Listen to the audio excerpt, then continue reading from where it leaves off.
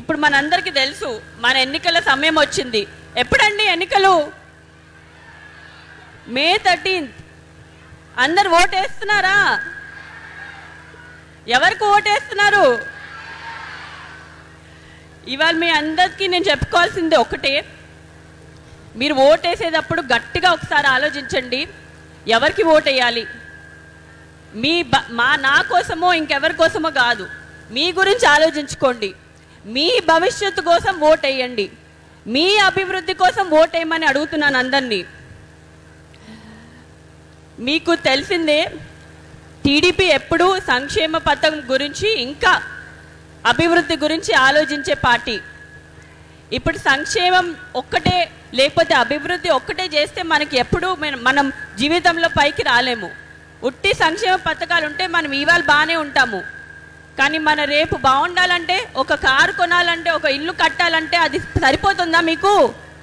అభివృద్ధి అనేది చాలా ఇంపార్టెంట్. మన సంక్షేమ పథకాలు ఇంకా అభివృద్ధి. రెండు తెచ్చే తేగలే మనిషి ఒక్కలే ఉన్నారు. అది మన నారా చంద్రబాబు నాయుడు గారు. ఆయన మ- ఆయనకి ఓటేసి మనం గెలిపించడం సీఎం చేయడం మన బాధ్యత. అదే కాదు హిందూపురానికి ఎమ్మెల్యేగా ఇప్పుడు కరెంట్ ఎమ్మెల్యే ఇంకా మళ్ళీ ఎమ్మెల్యే అభ్యర్థిగా పోటీ చేస్తున్న నందమూరి బాలకృష్ణ గారు నాన్నగారు మీరు రెండు సార్లు గెలిపించారు ఆల్రెడీ. ఆయన చేసిన ఇక్కడ చాలా కార్యక్రమాలు. మొదటిగా మనం మాట్లాడాలంటే నీటి సమస్య. మీ అందరికీ తెలిసిందే నీటి సమస్య మొదటి ప్రయారిటీగా తీసుకున్నారు. అదే కాకుండా అన్న క్యాంటీన్ పెట్టారు. ఇక్కడ రోడ్లు కానివ్వండి చాలా కార్యక్రమాలు చేశారు మీకోసం. ఇంకా చేస్తూనే ఉంటారు. మనం సీఎంగా చంద్రబాబు నాయుడు గారిని ఇక్కడ ఎమ్మెల్యేగా మన నందమూరి బాలకృష్ణ గారిని గెలిపించడం మన బాధ్యత. మీరందరూ సైకిల్ గుర్తుకే ఓటేస్తారని నేను ఆశిస్తూ నేను సెలవు తీసుకుంటున్నాను. థ్యాంక్ యూ అండి. మీరందరూ చాలా బాధ్యతగా వెళ్ళి ఓటు వేస్తారు లైన్లో నుంచి ఓటు వేస్తారు. కానీ మీ చుట్టూ కొందరు ఉంటారు. ఎవరైతే చాలామంది వేస్తున్నారు కదా మేము ఓటు ఎందుకు వేయాలి అని అనుకునేవాళ్ళు. మీరు తప్పకుండా వాళ్ళందరి దగ్గరికి వెళ్ళి మన ఓట్ హక్కును వినియోగించుకోవాలని మీరు చెప్పాలి. అది మన బాధ్యత మీ బాధ్యత. అదే కాకుండా చాలామంది అనుకుంటున్నారు ఇంకా ఆలోచిస్తున్నారు. మీరు కాదు చుట్టూ ఉండేవాళ్ళు కొందరు. ఎవరికి ఓటు వేయాలా ఒక ఓటు ఇటేస్తాము ఒక ఓటు అటేస్తాము అని చాలామంది అనుకుంటున్నారు. మీరందరూ వాళ్ళకి గుర్తు చేయవలసిన విషయం ఏంటంటే ఎవరి హయాంలో మనం బాగుపడతాం ఎవరి హయాంలో మన భవిష్యత్ తరాలు బాగుపడతాయి? ఎవరి హయాంలో మన ఆంధ్ర రాష్ట్రపు పునర్వైభవం మన మనం తిరిగి తీసుకొస్తాము అని ఆలోచించమని మనం గట్టిగా బలంగా అడగాలి. అందరికీ నమస్కారం. నేను మళ్ళీ ఇంట్రడ్యూస్ చేయను. నేను మా మామగారి గురించి ఎంతో చెప్పగలను కానీ నేను ఒక్క మాట చెప్తాను. ఆయన తన ఫ్యామిలీకి ఎంత పని చేస్తారో నేను కళ్ళారా చూశాను. అలాగే ఆయన ఖమ్మం కుటుంబంకి అలాగే సేవ చేస్తారని నాకు పూర్తి నమ్మకం. అందుకే అందుకే మే పదమూడో తారీఖు కాంగ్రెస్ పార్టీకి హస్తం గుర్తుకి ఓట్ చేసి మన రఘురామ్ రెడ్డి గారిని మెజారిటీతో గెలిపిద్దాం. థ్యాంక్ యూ మొదటిగా నేను హిందూపూర్కి టూ థౌజండ్ ఫోర్టీన్లో వచ్చాను. నాన్నగారు మొదటిసారి పోటీ చేసినప్పుడు. దాని తర్వాత మళ్ళీ టూ థౌజండ్ నైన్టీన్లో వద్దాం అనుకున్నాను కానీ అప్పుడు భరత్ గారు మొదటిసారి పోటీ చేయడం వల్ల అప్పుడు కా అప్పుడు రాలేకపోయాను.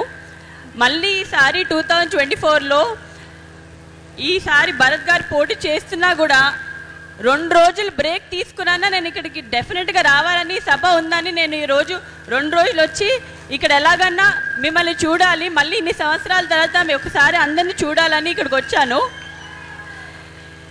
అప్పటికి మీకున్న ప్రేమ ఇప్పటికీ మీకున్న ప్రేమ అలాగే ఉంది. ఇన్ఫ్యాక్ట్ దానికన్నా ఎక్కువ ఉంది ఇప్పుడు. దానికి నేను హృదయపూర్వక ధన్యవాదాలు చెప్పుకుంటున్నాను. చాలా ఆనందంగా ఉంది నిజంగా ఇవాళ ఇక్కడికి రావడం. ప్రత్యేకంగా హిందూపూర్లో ఉండే మహిళల గురించి మాట్లాడాలంటే మీరు చాలా ఆప్యాయత చూపిస్తారు. ఈరోజు మనం చూపి చూస్తున్నాము. అదే కాకుండా మీరు చాలా కష్టపడే రకం. మీరు చాలా నిజాయితీగా పనిచేస్తారు. మీరు చుట్టూ ఉండే మహిళలు చాలా మంది కోసం ఒక ఆదర్శంగా నిలిచారు. మీ అందరితో సమయం గడపడం నాకు నిజంగా గర్వంగా ఉంది. ఇంత కష్టపడే మహిళల్ని స్త్రీ శక్తిని ఒక మహాశక్తిగా తీర్చిదిద్దాలని మా కుటుంబం ఎంతో కృషి చేస్తుంది.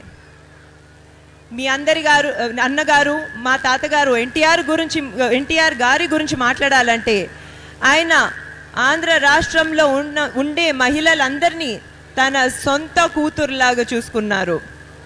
ఇప్పుడే చెప్పటం జరిగింది. భారతదేశంలోనే మొట్టమొదటిసారి మహిళలకి ఆస్తుల్లో సమాన హక్కు ఇచ్చినది ఎన్టీ రామారావు గారు. అదే కాకుండా మహిళలు విద్యావంతులు అవ్వాలని భారతదేశంలోనే మొట్టమొదటిసారి ప్రత్యేకంగా మహిళలకి ఒక యూనివర్సిటీ పద్మావతి విశ్వవిద్యాలయం అనేది స్థాపించింది మన అన్నగారు. అదే కాకుండా మన మహిళలు రాజకీయాల్లో కూడా చాలా యాక్టివ్గా ఉండాలి. వాళ్ళు కూడా డిసిషన్స్ తీసుకోవాలని భారతదేశంలో మొట్టమొదటిసారి వాళ్ళ కూడా లోకల్ బాడీస్లో ముప్పై మూడు పర్సెంట్ రిజర్వేషన్ ఇచ్చిన ఘనత మన ఎన్టీఆర్ ఎన్టీ రామారావు గారిదే.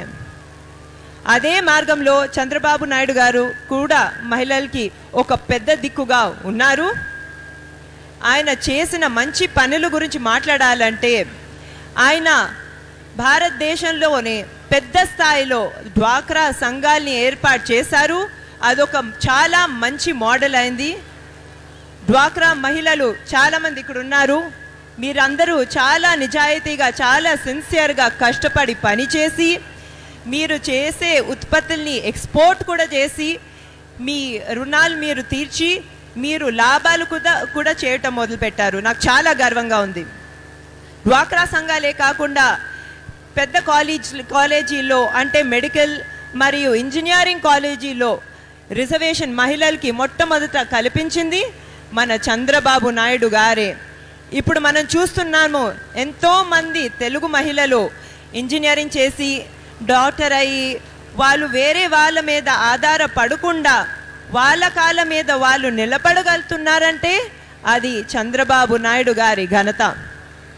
ఇవే కాకుండా మహిళల వంటగది బాధలు చూసి మహిళలకు ఉచిత గ్యాస్ కనెక్షన్ ఇచ్చింది మన చంద్రబాబు నాయుడు గారే. మా వారు నారా లోకేష్ గారు కూడా మంగళగిరిలో మహిళలకి స్త్రీ శక్తి అనే ప్రోగ్రాం ద్వారా ఎంతో చేస్తున్నారు. ఇప్పుడు మనము బాలకృష్ణ గారి గురించి మాట్లాడాలంటే ఆయన ఎప్పుడు మహిళా సాధికారత గురించి గురించి ఆలోచించే ఆయన. నాకు మా చెల్లెల తేజస్వినికి ఆయన చిన్నప్పటి నుంచి ఎంతో స్వేచ్ఛతో పెంచారు. ఆయన మాకు ఎప్పుడు చెప్పేవారు మీరు వేరే ఎవరి మీద ఆధారపడకూడదు మీరు బాగా చదువుకుని మీరు మీ మీరు మీ కాళ్ళ మీద నిలబడాలని. ఆయన ఇచ్చిన ప్రోత్సాహం వల్ల ఆయన కొన్నిసార్లు మమ్మల్ని పొద్దున నాలుగు ఐదింటికి ట్యూషన్లో దింపేవారు. ఎగ్జామ్స్ ఉంటే ప్రేమతో ఎగ్జామ్ సెంటర్లో దింపేవారు. చాలా పనులు చేశారు మా కోసం. అదే కాకుండా ఇప్పుడు ఏంటంటే నాకు చాలా చిన్న వయసులోనే పెళ్ళైంది. పెళ్ళైన తర్వాత కూడా నారా లోకేష్ గారితో పాటు నాన్నగారు ఎంతో నన్ను ప్రోత్సహించి పై చదువులకు అమెరికా పంపించారు. బయట ఉద్యోగాలు చేయడానికి సింగపూర్ పంపించారు. నన్ను ఆయన కొడుకులాగా చూసుకున్నారు. కూతురులాగా కాదు. నాకు అంత ఫ్రీడమ్ అంత ఇండిపెండెన్స్ ఇచ్చిన ఆయన నాన్నగారు. ఇప్పుడు ఆపరేషన్ లేకుండానే మోకాళ్ళకు ప్లాస్మా ట్రీట్మెంట్. మీ ఆర్థోపెటిక్ సమస్యలన్నిటికీ రోబోటిక్ టెక్నాలజీ ద్వారా తక్కువ ఖర్చుతో శాశ్వత పరిష్కారం. Free consultation. ప్రతి ట్రీట్మెంట్ పై ట్వంటీ పర్సెంట్ డిస్కౌంట్. ఈ ఆఫర్ కొద్ది రోజులు మాత్రమే త్వరపడండి. V nine hospitals. Nine two eight one four six five eight four two.